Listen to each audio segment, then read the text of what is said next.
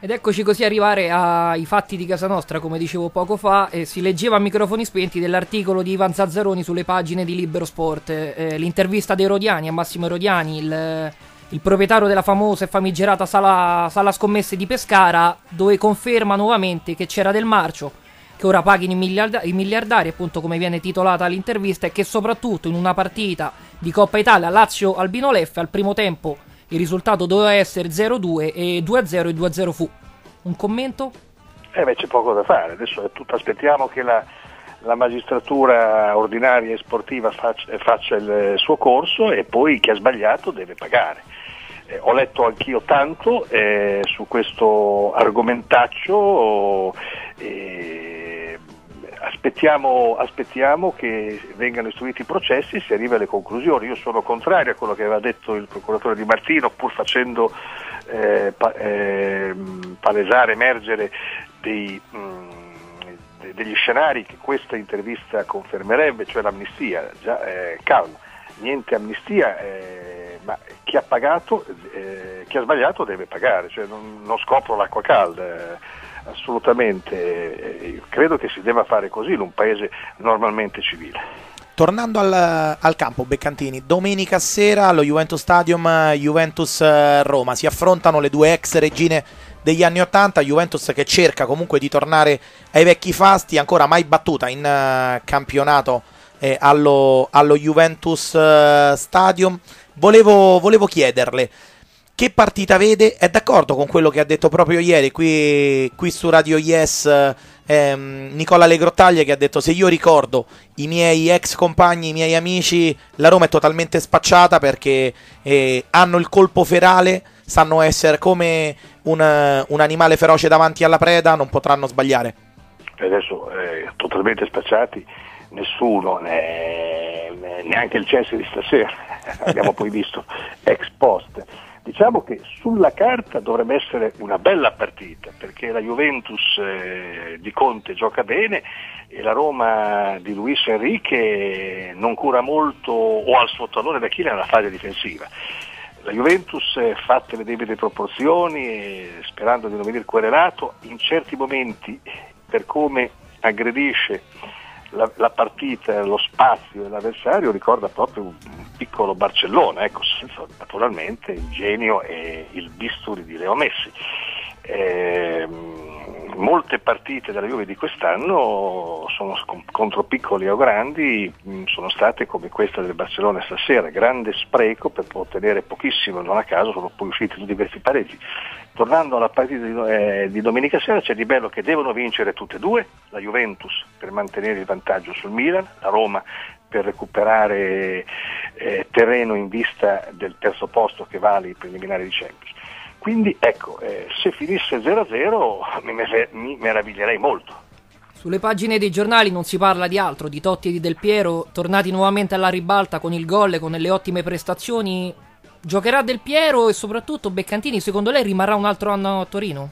Ma non so se io non penso che giocherà dall'inizio Del Piero. Alessandro Del Piero ha fatto la storia della Juventus 20 anni dal 1993, quando arrivò con Boniperti al comando tra Pattoni e allenatore Francesco Totti è, stata, è stato la bandiera della Roma. Io credo che eh, Del Piero, compiendo 38 anni a novembre, anche alla luce di quello che ha detto Andrea Agnelli e come gli ha risposto Alessandro stesso in questa intervista ultima, eh, lui chiuderà con la Juventus almeno sul campo il 30 giugno.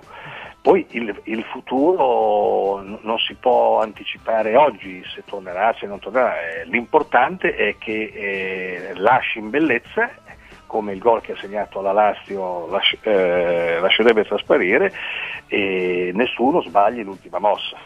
Prima di salutarci non avevamo avuto modo di trattare con lei eh, il triste argomento legato al dramma di Pier Mario Morosini, eh, lo facciamo insomma questa sera dopo l'ennesimo bagno di folla che c'è stato comunque per la Camera Ardente eh, a Bergamo, dopo il saluto dell'Armando Picchi di ieri a Livorno, un brutto fatto eh, per quanto riguarda il calcio italiano, ancora una volta ci siamo fatti trovare impreparati. In che senso? dal punto di vista della sicurezza si parla molto no? adesso di protocolli, addirittura la Procura di Pescara eh, ha aperto un fascicolo come omicidio colposo no? per questo ritardo anche nell'uso del defibrillatore. Ma, eh, Magari... bisogna, cioè, in linea generale i controlli preventivi eh, dello sport italiano sono all'avanguardia. Per quanto concerne il fatto specifico che ha così tragicamente coinvolto eh, Pier Mario Morosini, eh, la magistratura ci dirà eh, è andata. Purtroppo eh, Pier Mario praticamente non ha dietro nessuno se non qualche zio perché la sorella è, di, è, è disabile, il fratello è morto come i genitori, è, è molto solo e quindi anch'io che pur essendo contro la spettacolarizzazione del dolore, questo, tutti questi bagni di folla in suo onore e in, in, sua memoria li accetto. Resta da stabilire proprio per lui, che è troppo solo rispetto a tanti altri, anche a tanti altri morti, ahimè, di ristabilire la, la verità. Il fatto che mi ha colpito, quando anche non si entrasse nulla nella dinamica che ha portato alla morte di Pier Mario è quella maledetta auto dei vigili davanti alla, all'ambulanza. Quello è proprio un tocco maled- maledettissimo di italianità, di commedia all'italiana, per cui anche nella tragedia riusciamo sempre a metterci una briciola di farsa. Sì, perché adesso dopo la tragedia si comincia a parlare di protocollo di sicurezza, tutti gli stati devono, sì, devono essere muniti, sempre troppo io, tardi. Io non, io non, criminalizzo nessuno, neanche i medici, gli infermieri che poverini così spiazzati sono stati costretti a cercare un miracolo sul corpo ansimante di Pier Mario, ci mancherebbe, mm, ho provato a immaginarmi nei loro panni, chissà cosa avrei combinato, però quella roba lì, quella roba lì anche se ripeto, come mi auguro, non non c'entri nulla, resta però una, una spina, una spina profonda. E un'ultima battuta anche sulle liti all'interno della, della Lega per, per, questo recupero, eh, per far slittare la Beh, giornata. Sì, purtroppo, poi...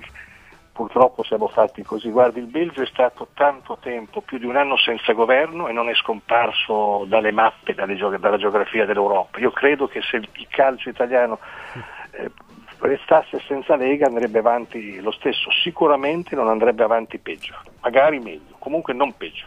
Maestro, noi la ringraziamo per la sua consueta disponibilità, le auguriamo buonanotte e ci risentiremo magari in futuro. Un abbraccio. Grazie a voi. Grazie, Grazie a voi. Buonanotte. buonanotte.